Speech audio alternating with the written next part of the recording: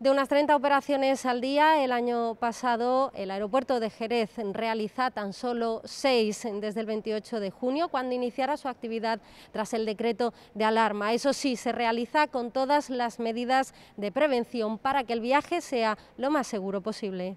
La primera de las medidas con la que se encuentra el visitante es la prohibición de la entrada en el edificio de personas sin tarjeta de embarque. Las mascarillas y la distancia de seguridad son además obligatorias por ley. Hemos puesto mensajes específicos de megafonía, recordando el uso de la, mascarilla, la distancia de seguridad, la documentación que va a ser necesario. Hemos colocado señalización eh, para mantener las distancias en todo el aeropuerto.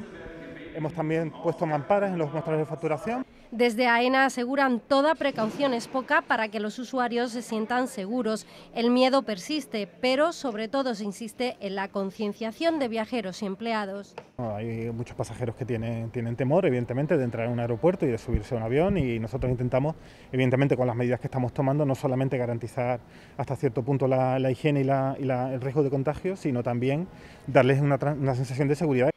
En este sentido, el decreto del Gobierno impone medidas a aeropuertos y compañías, unas medidas de las más completas de Europa, ya que no se han unificado criterios y solo existen recomendaciones que cambian en cada país. La gente la verdad es que está bastante mentalizada, tanto para los vuelos nacionales como para los internacionales.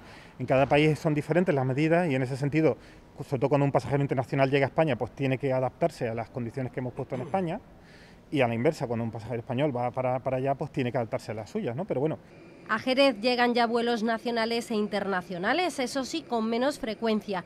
De Madrid y Barcelona llegaban al día 4, ahora esa misma cifra se recibe en toda la semana. Una situación negativa ante la que se trabaja por la consolidación de líneas y aumento de destinos si las compañías aéreas ven que los aviones van cada vez más llenos, pues pondrán más frecuencia. ¿no? O sea, nuestra primera prioridad era recuperar las rutas y ahora va a ser pues, que las compañías aéreas se animen a poner más, vuelos. A pesar de la búsqueda de una cierta normalidad, los viajeros internacionales sufren algunas restricciones añadidas. A la toma de temperatura se le une el Passenger Location Card, un formulario de sanidad exterior que pretende facilitar la trazabilidad en el caso de un posible positivo y aproximadamente pues, un porcentaje muy pequeño, menos del 1%, han pasado a un análisis posterior, donde un médico les hace un análisis un poco más profundo, pero a día de hoy no tenemos ninguna, ninguna caso que haya sido necesario aislar ni llevar a un hospital. Otros procesos siguen más o menos igual. El control de seguridad continúa siendo exhaustivo. No se puede bajar la guardia, aunque sea durante una pandemia. Lo que sí es cierto que ya viajar no será igual, pero al menos los aeropuertos de España trabajan por ofrecer tranquilidad.